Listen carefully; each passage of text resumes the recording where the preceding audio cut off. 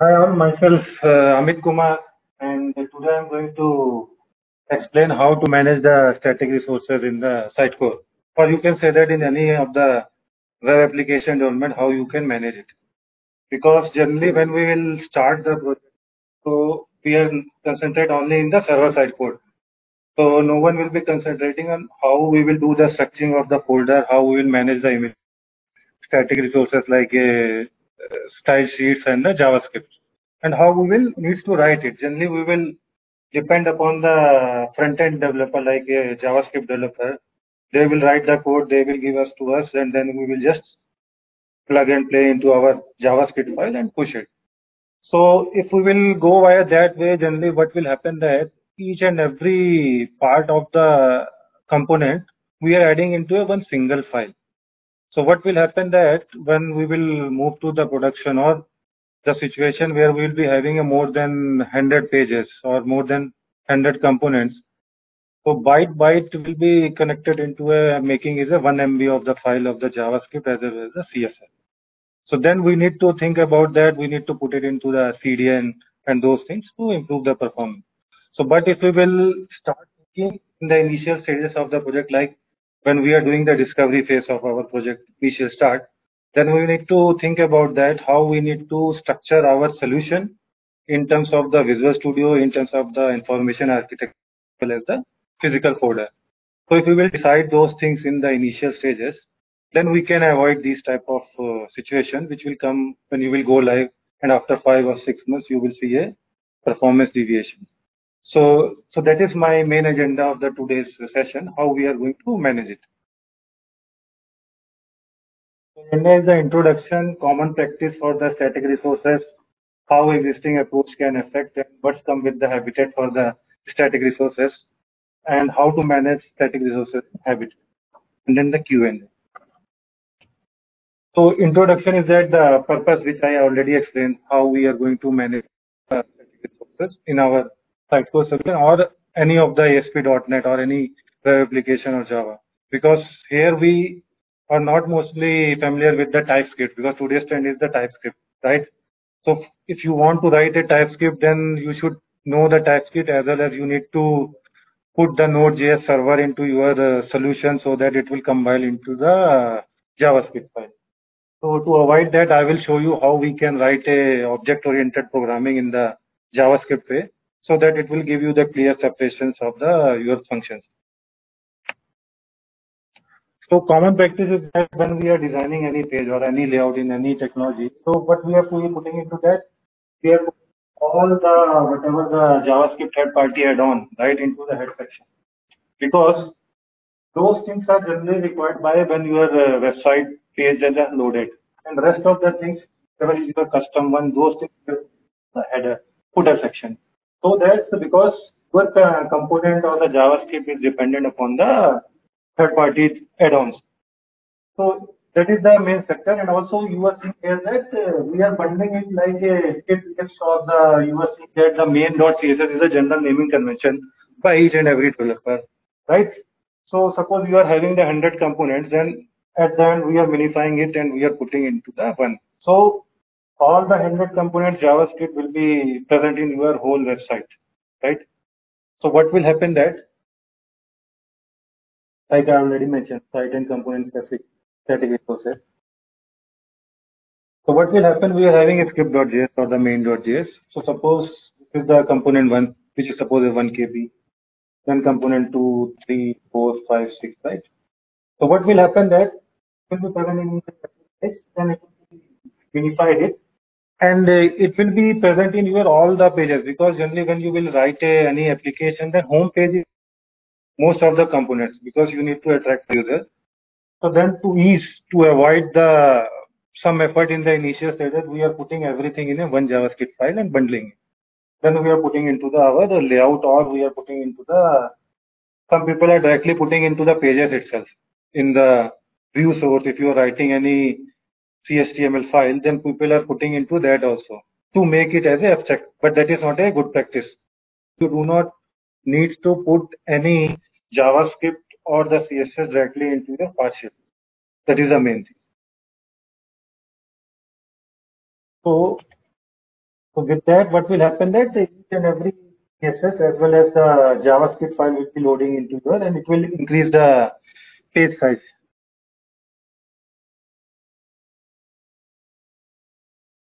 So now I am what uh, everyone has seen the habitat solution, right? So in the habitat, we are having a two solutions uh, or the modules you can say that that is very helpful. So one is that the so let me give the first introduction. Everyone is aware about the helix, but I am giving a brief introduction.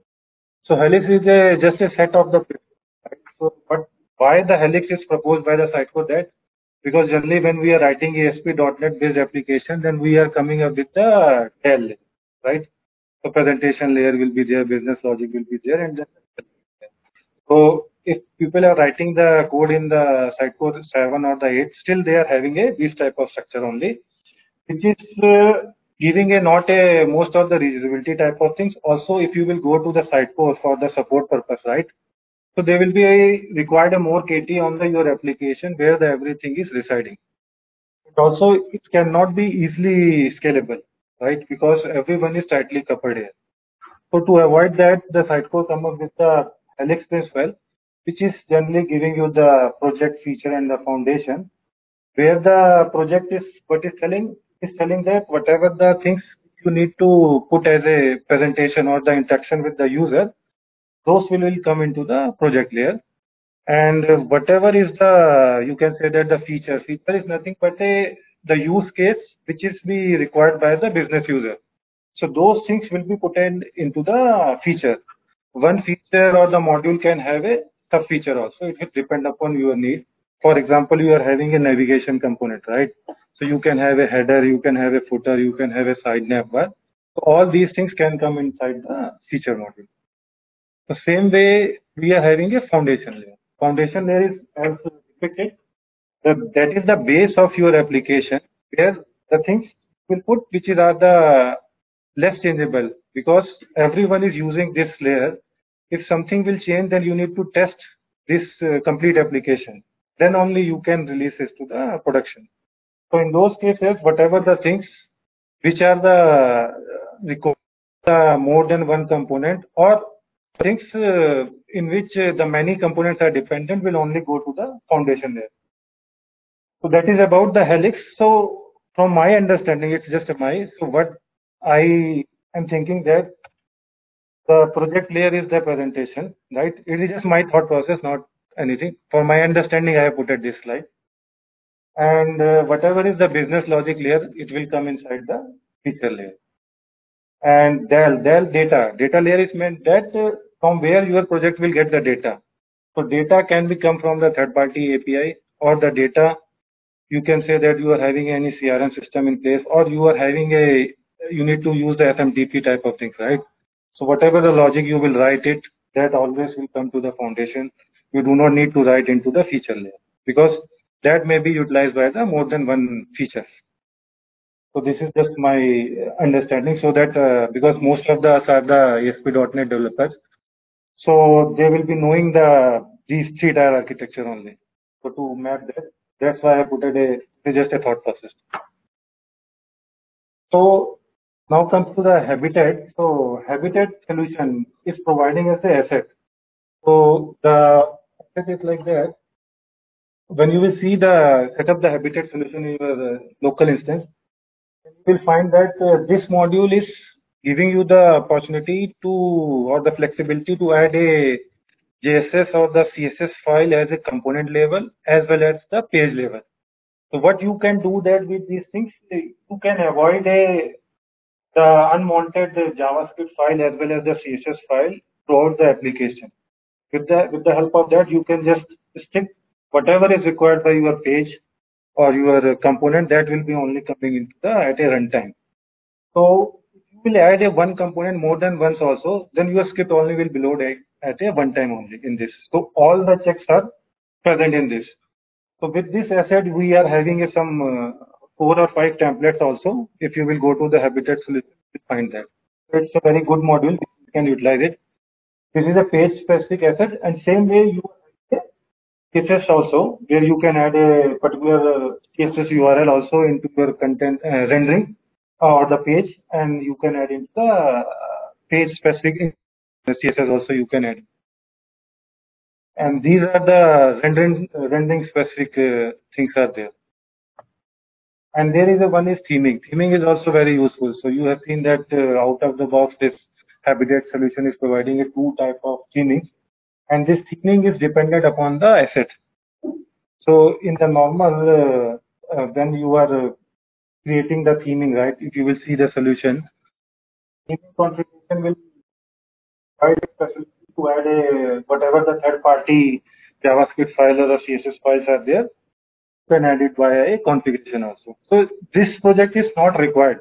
But uh, what you can do with this project is that you can add a, what I have done it, I will show to you. So with this, what you can do that whatever the third party component or those things are required, if you will add here, then these things will be added. After that, whatever the you have written the custom code, it will be added inside that. So this thing is, this solution is providing how to manage static resources. As I explained earlier is that we are starting or the, doing the discovery phase, we need to decide that uh, what are the information architecture, what is the solution, we are following a proper habitat solution or not. So in habitat also, what habitat is telling that, or Helix is telling that we need to put uh, everything in the foundation layer, right?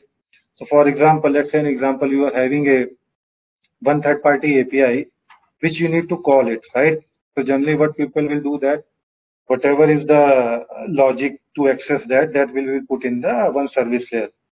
But to put a more abstraction, what we can do that, whatever are the common entities or those things, right, that inside our main common entities project in the foundation layer.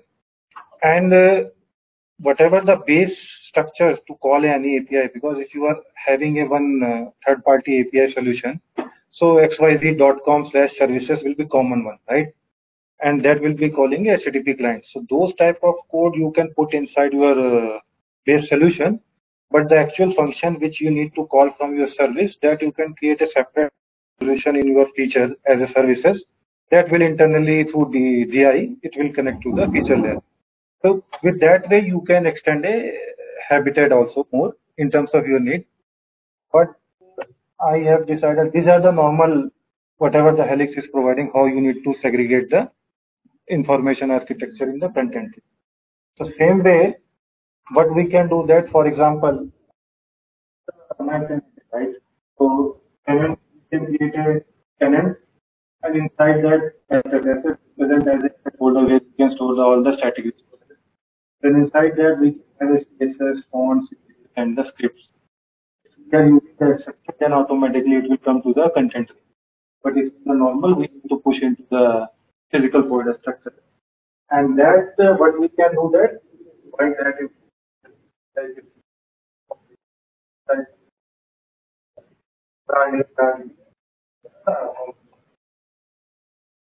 any questions this?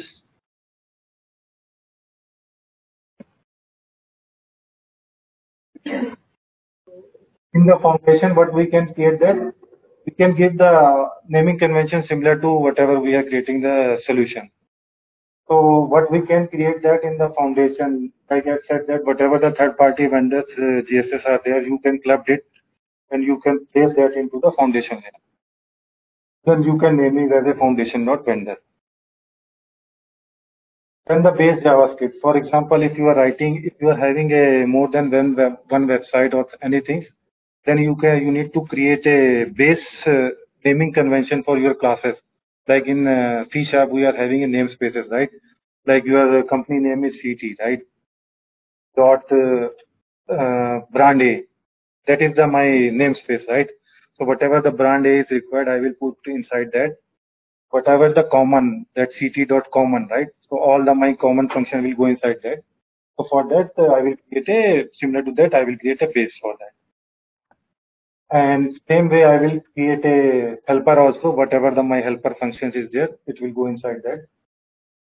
And same way I will create a site specific JavaScript. Suppose some other functions like uh, you are having a one component where you need to change some settings or something on the basis of some particular site. So then whatever the site level JavaScript uh, is there that you can put inside the website. And uh, whatever is the component specific, right? So that you can place into a component specific uh, JavaScript file. So let me move to the, okay.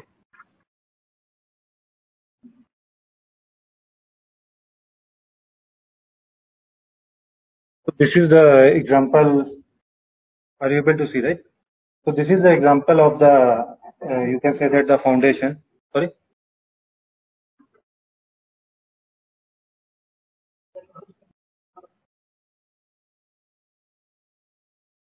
Ah, that I am doing.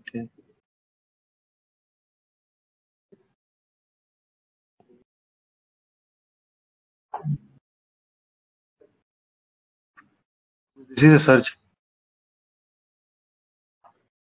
There? No, it's a this. This is a Visual Studio Code. Here.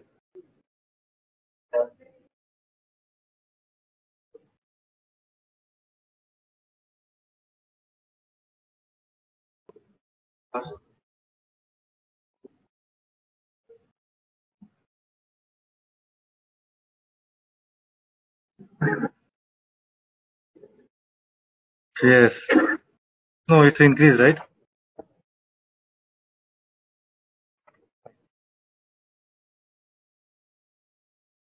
So what I did that uh, I have combined all the my third-party JavaScript files into a one. So I will call it as a foundation. So, so this will be coming as a first file, and after that, what I did that. So I have created a base. Like CT is my main tenant folder. So for that, I have created an object. So whatever the my application is having a any JavaScript or that file, that will contain a CT as a parent namespace. So let's say an example of uh, this one. So this is my helper. So what I did that I have created like a ct.helper and whatever is my helper classes or the helper functions are there, right? So I have put it inside that. So what will happen that if anyone in your team wanted to know that wherever is the helper there, they just need to call it this namespace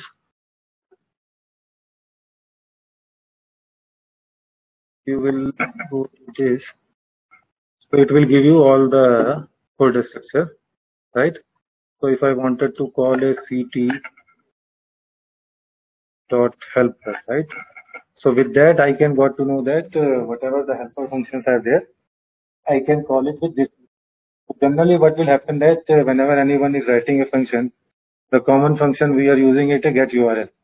So if you are the developer you are using a get URL in a different context, I am writing my piece of code. I will write a get URL in my context. Suppose if I want to append something in my get URL function, I will do that. But if you will put all this into the one JavaScript file or without any parent notation, then what will happen that whichever comes is the later one, that will be called. Because you as a developer, you will be uh, running that into your local system, then it will work. But if you will merge that code into a main code base, then your functionality will break. To avoid those things, uh, we need to follow the object-oriented programming in the JavaScript also. That is the one thing. And uh, the same way, if we are having any website-related functionality, that's the dummy functions. So whatever is your site-specific functionality, you can put inside this uh, this type of structure also, and you can add it. Let's move to the this. So if you will see this, if I will run this, so I am the some uh, JavaScript, I am using it in that notation. So if you will see it, this. So at the runtime also, this I am some because sometimes what will happen that when you are writing any page load also you need to make any API call or those things. So what I did that I have uh, put a API.init function similar to our .NET so that uh, whenever that JavaScript will load, so whatever is the base initial that we have to do it, that we can call it. So now we are having a two functions in this. And uh, both these are the get data only. Okay. So if we are not using a, this naming convention, what will happen that suppose first is calling a third party API, right? So this is coming from some API. But another developer is also writing a get data without using naming convention, then it can conflict. But if we are using a namespace, then we can avoid that. So it will not conflict the other. That what you can do that if you will go to the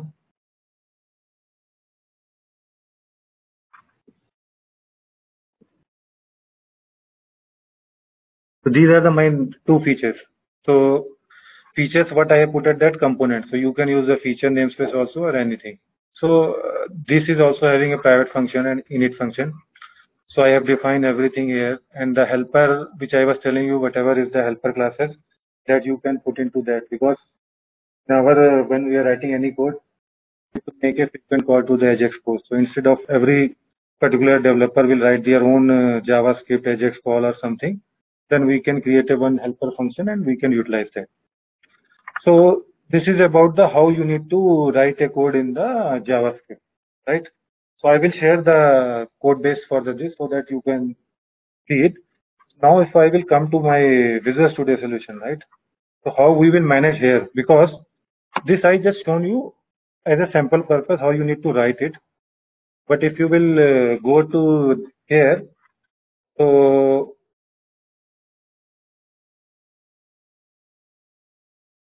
this asset, is the main feature, right? So that you can utilize it direct from the habitat. And then uh, what I did that in the common, right? So I have created the same solution structure here because this is going to deploy into your web root.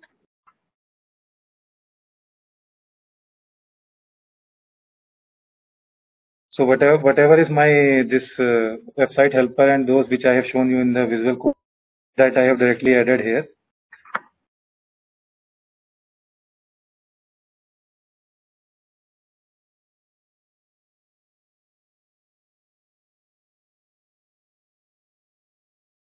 I think many solutions are open now, that's why. This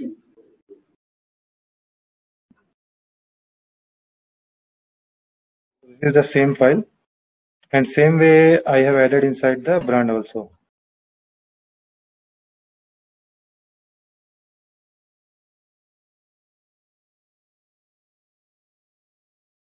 Okay. So now what I am doing it here in this solution, I am using the this bundling uh, that add-on, right? Which you can see.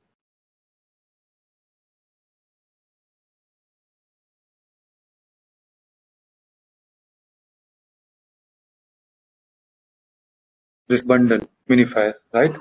So what I am doing that uh, because we cannot directly use this file there. So what I did that in the bundle config. So suppose whatever is my jQuery or everything is there, I have bundled that into the vendor.js. And uh, whatever is my CSS also, suppose you are using query date or the foundation or the bootstrap, right? That you can bundle bundled into the this vendor CSS. Then suppose uh, you are having a, this common site, right? So what will I do? I will put it as a common.website.framework, right? I am bundling it here. I will show you how it will be moved to your uh, web root itself. Okay. So whatever is my website related CSS file also that I will bundle into a single one. And whatever is the brand related CSS also, I will name base base is my the actual things, right? And then, then I am converting that into a my website.framework. I am changing the naming also. So once I will build this this solution, when the actual uh, build will happen, then what it will do? It will create a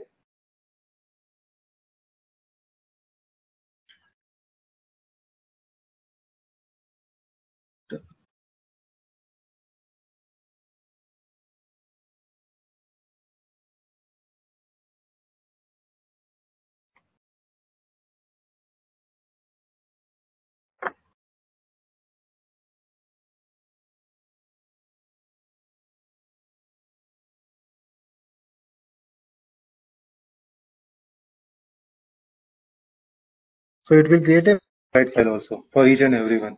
So what I will do when I will design my page layout. So in that page layout,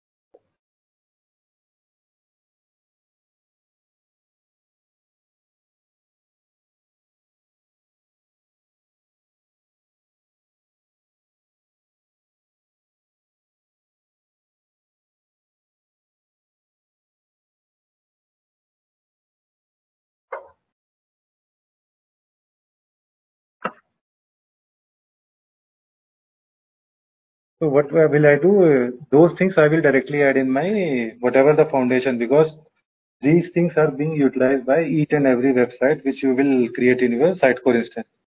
Those are the basic things I will add it and then I will use a this line, right? So what it will do because I have defined my theming also in my Sitecore content tree inside the settings. Uh, settings inside that the system will be there. A theming will be there inside that I have defined my theming also. So all the site specific CSS will come via this only. And whatever the theming related JavaScript files are there, that will be rendered by this one. So with the help of this, uh, it will render all the required JS for a particular site into a page. And if you will come back to the solution again,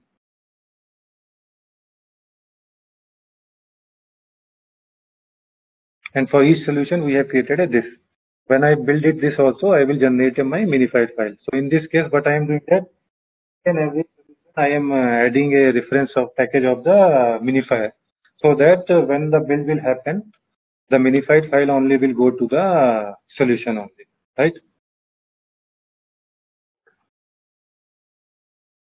Yeah.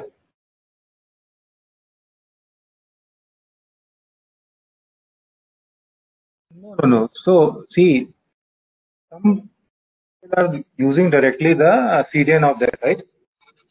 But if you are creating any insurance domain project, right? So they they don't want to rely on the CDN.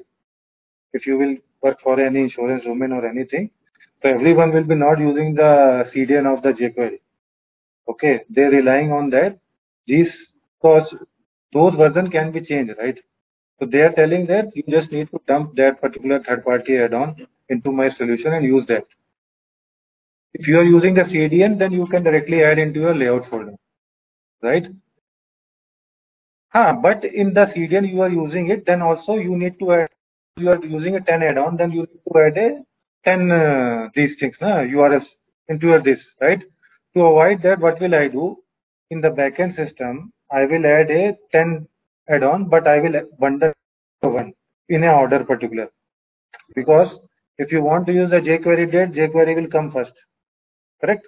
So when I am bundling it in my bundle.json file, I will that into my order so that I can control all these things by my own. I do not need to depend upon anyone. So with that way, it's better to download everything into your solution and then bundle it and push into your project.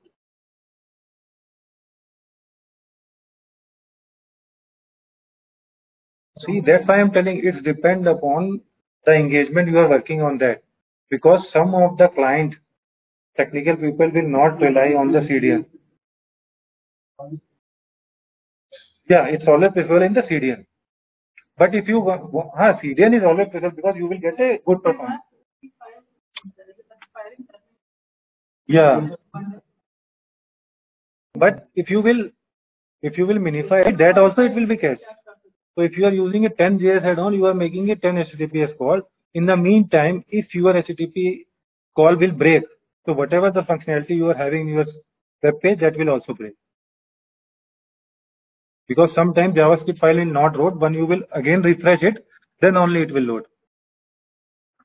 So to avoid those things, if you are having a one or two, then go with the CDN. Otherwise, it's better to, if you are having a lots of, if you are using any e-commerce or where you are using a more flash component like a image slider and those things, there you have to use a more than five uh, JS add-ons, right?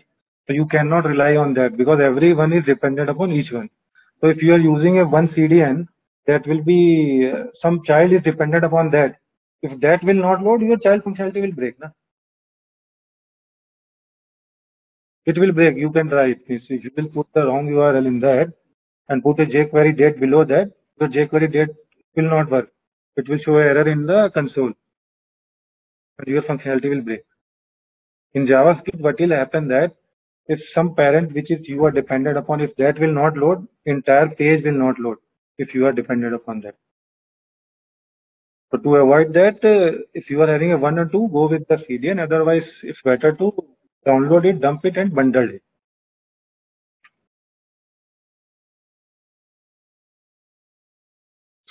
No, it's not. It's a client-side scripting, right? So dependency here is that if you will use the this object-oriented type of implementation, right? Then you can just it will depend JavaScript. The dependency is the order in which you have added the JavaScript file. If you will use the TypeScript also, there you can inherit it. But for inheritance, you are you will be using a require JS, right? So if you are calling a some child thing which is dependent upon the parent, then before that you need to put a require in that particular child's class. Because I am going to utilize a, my parent function in the child class, then only do load this particular JavaScript file. There also you need to load the JavaScript file. Same way here. Because many people are not uh, TypeScript and those things. Huh? So that is this is the easiest way.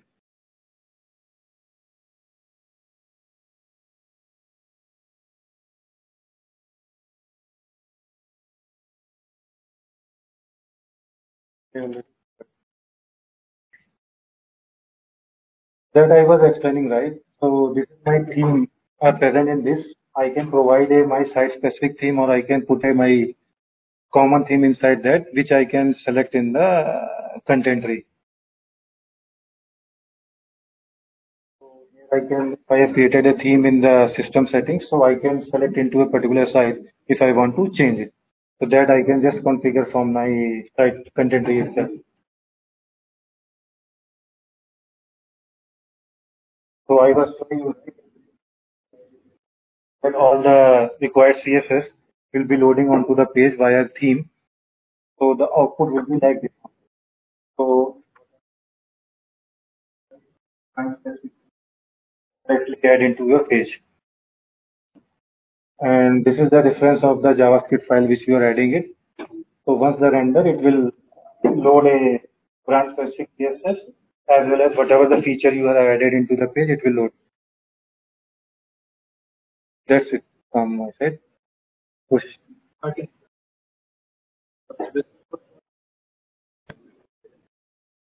See, is also based on that. So whatever the things which I am showing you, right? What SXA will, how SXA will work, SXA is based on the, all the yeah, static resources are storing in the content itself. Then they are having a, their own gulp task that will be minifying it and it is pushing back to the website.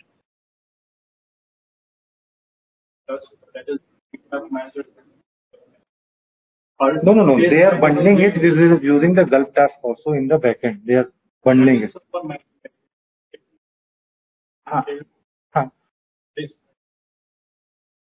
Huh. For that, they are using a separate uh, tool in the backend that will minify it. So that you can enable, disable also.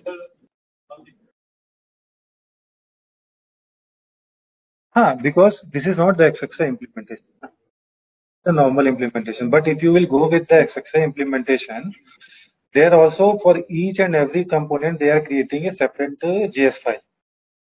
Why? Because once that component will be, but there, what they are doing it, all the component uh, JSs are bundled into a one component.js and it will be loaded, right? That is a drawback because it will, because they are having the 100 components. So 100 component JS file and CSS file are loading into there, into each and every page. So currently in my one of the project, we are facing that issue itself. But we can't do anything. now. So to avoid those things which they are doing it, so in that case, that's why they are coming up with this uh, habitat, this asset feature, which they have come up with this JavaScript and CSS that we can avoid. But we can store the this JS and CSS file also in the content tree. That I have also I have used that. So it's up to us how we want to use that. But there also you can follow this structure. Now you just need to push the data from your uh, Visual Studio to your content tree in any way. And from there you can give the path of the JS or Ah, see, see, ah, ah, you can push it. That way because uh, whatever the custom JSS we have used to override the Sitecore uh, SXA, that we have used that thing only and we have pushed into a uh, SXA media library itself, where they are having a, each and every component. So we have created our own folder structure there and we have put all the customization at the end of the day. So in the normal Sitecore implementation, you can also upload that into the this. But people generally what they are doing, they're putting these thing into the CDN. If you are having a uh, large geographic area, so then they are putting it into the CDN. Ah, CDN uses that only. If you are targeting more than one geographic, then only you need to put into the CDN. But if you are targeting onto a only single geographic, then no need for the CDN. So that way you can utilize. Any any other question?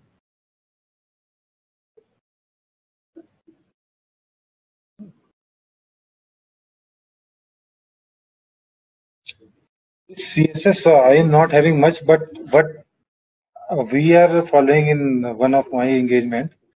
What we teach the uh, HTML developer is that because generally what they are using, they are using the Sass based things to generate that. But we have teach them or we have requested them, don't give us the, just create a CSS in a template manner. You will be having a your base foundation theme as a one. The child is a site specific theme, that CSS file. And then for each and every component, give me a, only a that piece of code. So suppose if client is currently using a blue theme, right? Now they will tell that no boss, I have to the red theme. So they do not need to go each and every CSS file to change it. So what they are using in QSS, they have maintained some variables in their Node.js website solutions. From there, it will pick up the this uh, font and everything, and it will club into a create a minified file. So that way we have requested them. So they are giving us a main uh, theme, uh, main foundation file, which is a vendor or anything. And then they are giving us a single site specific theme, red, blue or green. And at a component level also, they are giving us a, a single, single file. So then we have told that uh, if you are writing any component like a login, then put a naming convention of the login into the all the your CSS classes. And the child you will need to, if you want to change the href or any other div, then login.div. Don't put a div directly there. So that uh, if I want to override that particular div, I will use the dot login space div to overwrite uh, the colors and coding into this. So that way we have the discussion. So that's why I was telling. So before jump into the, it's not like that you are just writing a server side code, right? So you need to connect with each and every team and come to a common discussion or the platform that we need to follow this structure to write a, any code. It put in is able to the UX team also. Like there will they do not need to give a one bigger image. They need to give a image related to a particular device also, or the normal images how they're comfortable by the this uh, development. So everyone needs to have a discussion, then come up with the normal strategy. Okay.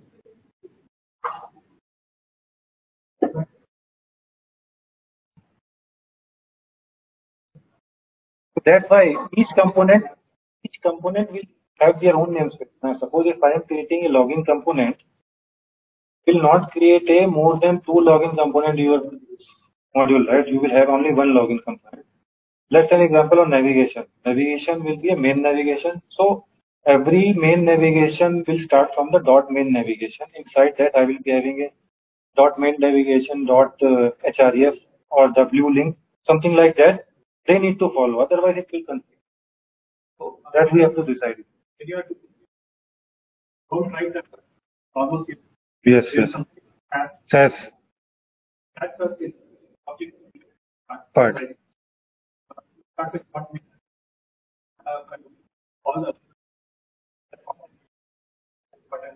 It will automatically come. Single, single CSS.